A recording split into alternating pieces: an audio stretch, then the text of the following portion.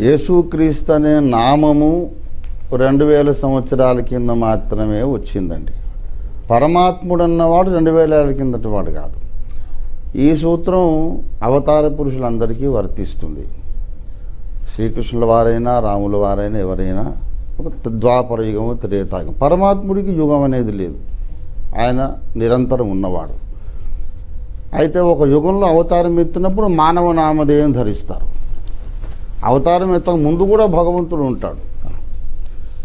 కనుక అలాగే అవతారానికి పూర్వం ఉన్నటువంటి పరమాత్ముడైతే అందరికీ ఒకడే ఆయన ఏ దేవుడైతే పరమాత్ముడుగా నామము రూపము లేనివాడుగా ఎవరైతే ఆయన వాళ్ళతో మాట్లాడి ఋషుల చేత ఈ కార్యాలు చేశాడో ఆయనే అవసరమైనప్పుడు శరీర రూపం దాల్చి యేసుగా వచ్చాడు అన్నది నా భావన. ఇక్కడ ఏ దేవుడు ప్రేరేపణ కలిగించాడో ఆ దేవుడే తర్వాత యేసుగా మానవ చరిత్రలోకి వచ్చాడు అనేది నా అభిప్రాయం అండి.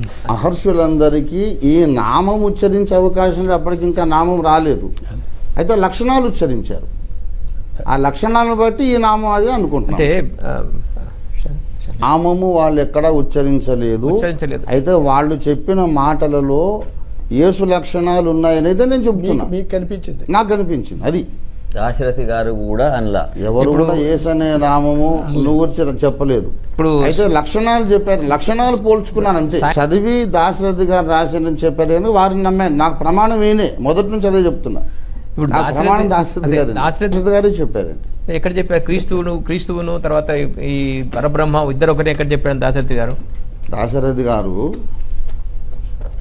ఆయన తర్జుమా చేసిన దాంట్లోనండి ఇదండి అధర్వ వేద సంహిత రెండవ కాండ.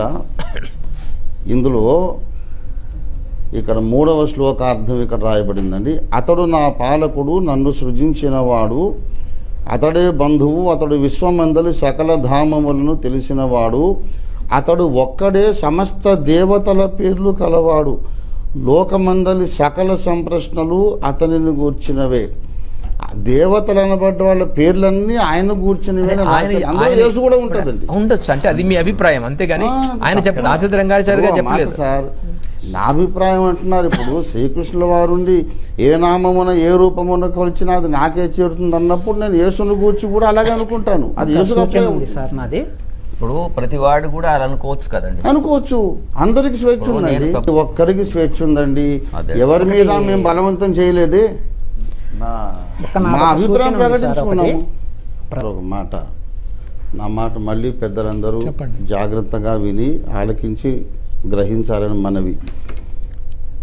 అక్షరాల యేసుక్రీస్తు అనే నామము ఏ వేదములోనూ ఏ భారతీయ గ్రంథంలోనూ లేదు ఉండదు అవకాశం లేదు. అది హెబ్రీ భాష నామము. మన గ్రంథాలు సంస్కృతంలో ఉన్నాయి. ఏమండి? ఆ హెబ్రీ నామధేయం మన గ్రంథాలు ఎలా ఉంటుంది సాధ్యమే కాదు. అయితే మన గ్రంథాలలో భగవంతునికి చెప్పబడ్డ వివరాలు ఆ వర్ణనలు ఆ పోలికలు లక్షణాలు యేసులో పుష్కలంగా కనబడ్డాయి కనుక భగవంతుడు భవిష్యత్ తిరిగినవాడు కనుక యేసు పుట్టకముందే ఆ మహానుభావులు దివ్యదృష్టితో ఇన్ని చూశారనేది నాకు అర్థమైంది స్ఫురించింది నా నమ్మకం. అది నేను ప్రకటించుకున్నాను. నచ్చిన వాళ్ళు నమ్ముతారండి. కాదు అని చెప్పడానికి క్రషింగ్ ఎవిడెన్స్ ఏంటో నాకు చెప్పాలి ఇప్పుడు. ఒక్క నిమిషం.